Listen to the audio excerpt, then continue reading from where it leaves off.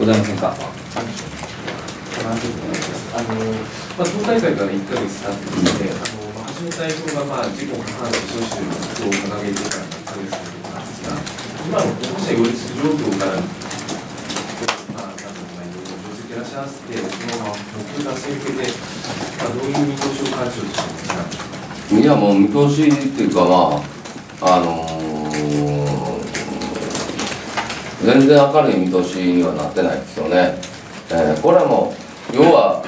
どの政党を選ぶどの候補者を選ぶっていうのが選挙ででそこに政策がまあどの政策を選ぶかということになりますから、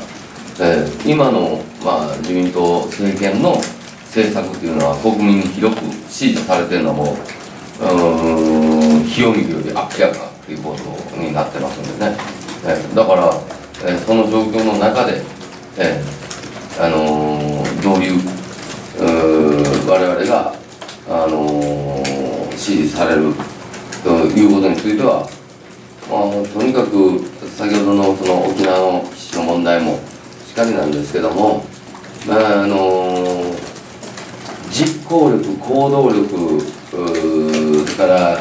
えーやったことに対しての結果と。こういうものをまあ大阪でまた大阪の話かいとこう言われると思いますけども、まあ、大阪で今やってるで結果こうなってるということをただただ僕らは全国でやらせてもらいたい。これだけなんですけどまああのーその大阪のうこう今までのその行動してきた活動してきた、えー中身とその結果というのがやはり、こうもう伝えきれてない。だからこれを伝えてまあなんとかご理解をいただきたいと。だってアベノミクスも今まだ雰囲気の中なんでね、えーこれがまあ多分参議院の時はまだ雰囲気でまあいい感じだなという話になるんでしょうからね。でも政治っていうのは結果責任なんでね。この結果責任を僕たちはまあ結果出してきてると。1年5ヶ月の間に、えーだからそのその、うん、結果出してきてる形をぜひ全国でお願いしてそれがまさに、うん、地方分権地域主権、えー統治機構改革なんだ。ということをまあ分かってもらえる努力をするしかないと思っています。あ、幹事長もおっしゃられたように、まあ、今、自民党の政策に対して、まあ、有権者の支持が高くて、まあ、安倍政権の、まあ、経済政策の、まあ、雰囲気では、まあ、みんないいんではないかというのがある中で、まあ、世の中でこう野党の支持率が低いということで、まあ、まあ、野党なんかなんともいいんじゃないかというような、こう、雰囲気を感じるわけですけど、そうしたに対して、こう、野党の幹事長としては、どういう、まあ、危機とかですね、感じになられています。いやそれもだからあのーうん議会制みたいな議員内閣である限りは与党野党があるわけでね。でも野党をなくすこともこれはあの最終的には有権者の皆さんが判断をすることです。で僕らはあのそもそも何でも反対の野党はこれはいりませんよと。やっぱり僕はま地方の首長で地方の議会も経験してるんでやっぱりその執行側とね、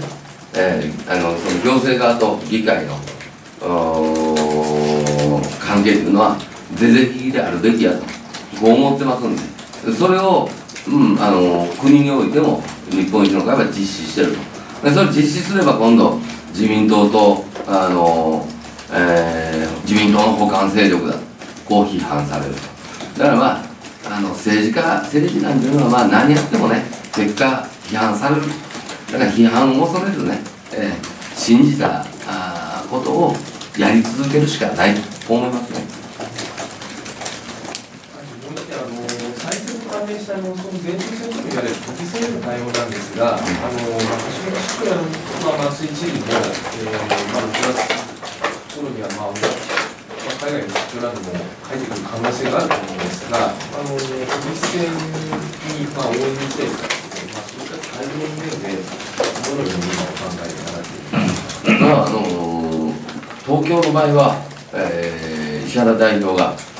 いらっしゃいますからやっぱり石原代表を中心でねあのこれはまあ何ていうか僕らがそのの出番なんていうのは石原代表がドンとこう構えられてるわけですから、えー、そんなにもう逆に出番ないんじゃないですか、うん、ただあのその生徒として、えー、まあ僕は僕も幹事長としてね。で橋本代表ももう一人の代表として、えー、それは政党のそういう選挙という、えー、その活動には、えー、あのしっかりと、あのー、それが仕事政党人としての役割ですからやるべきことはやっていきたいと思います。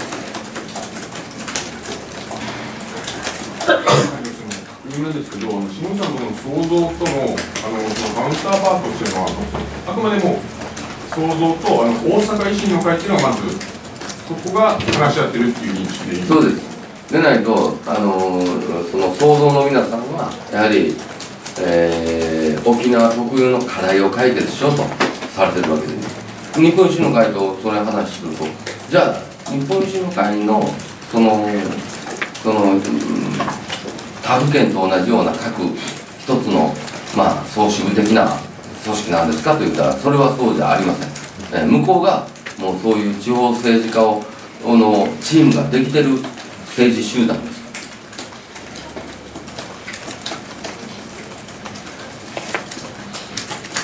はいどうしてございませんか？休み参拝話変わるんですけど休み参拝について伺いたいんですけども沖縄の集団参拝公開現場168人というのであの記録に残る中では一番多かった、まあ、近年は30人とか80人とかですねそれぐらいの数で推移してたんですけれども内容168人そういう、まあ、あの国会議員の参拝が一挙に増えたっていう背景っていうのを、どのようにその環境としては見ておられるか。いや、多分それ、その集団で参拝行かなあかんのかな。要はそのそこに、えー、いらっしゃる、まあ、英霊のね、そういうその魂というか、えー、その皆さん方がどう感じていただけるかというだけが思うんでね。だから集団でなんで行く必要あるんだよかなみたいな、うん、そんな感じですね。だからそれが数が増えようが減ろうが、えー、要はどういう気持ちを持って、えー、その参拝してるか。それが一番大事なんじゃないですか？うん。集団で今行く行かないっていうのもまあ部分もあると思うんですけど実数としてですねあの参拝される国会議員が、うん、あの増えた、まあ、実際に増えていると思うんですよねその増えていってるっていうその現状に対してのその見方だからその日に集団で参拝してる人がまあこんだけの数がいてただけでね。ほそのどの国会議員であってもね何が何でも参拝しない人って何人ぐらい多いんだろうね。これそれ一回聞いてみてよ。僕はこのほとんどの国会議員はそれはテレビやメディアの前で参拝はしてないかもしれんけども参拝してるの違うかなと思うけどね、えー、だからそれがそのメディアに取り上げられるその日を選ぶのか、えー、違うに、え、そっと手を合わせるんか。それだけのこと違うんかなと思うんですけどね、うん、だから、まあ、僕やったら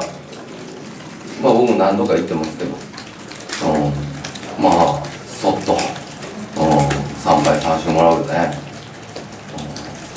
うん、だからその集団で参拝する日ってそれ決まってるんだよそれが。結局。だからそれがこう皆さんがいてるからねその日にみんなバーッと集まる。だからみんなではねその日は一切、えー、報道しませんってやったらいいんだ。なほんまにどんだけ集まるのかね。あそれで一回こうあのだからその日に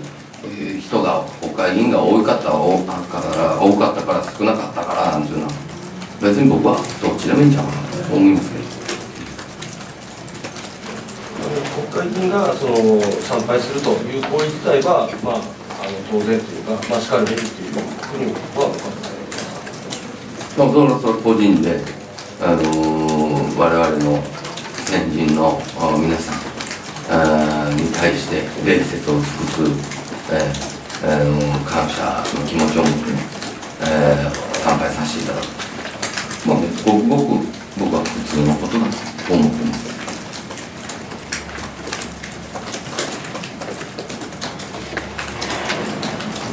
えー時間の方も来ておりますので、えーお一人2問ずつでお二方ぐらいと思いますが、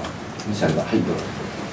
ゴールデンウィーク明けにあの本州のから仙台本部が立ち上がると思うんですけど、はいそのその後、まあ、本格化して全国遊説だとか、まあ、その考えてらっしゃるのかなと思うんですけども、あのここら辺は、まあ、今今回全国に広がりますし。なんかそのセンター本部作って、えー今後の活動の予定とか、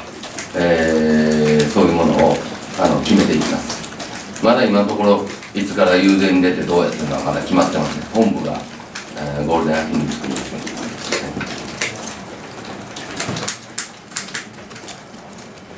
う最後お一人、じゃあ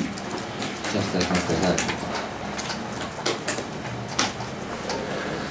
うか？では内容でしたらこれで終わらせていただきます。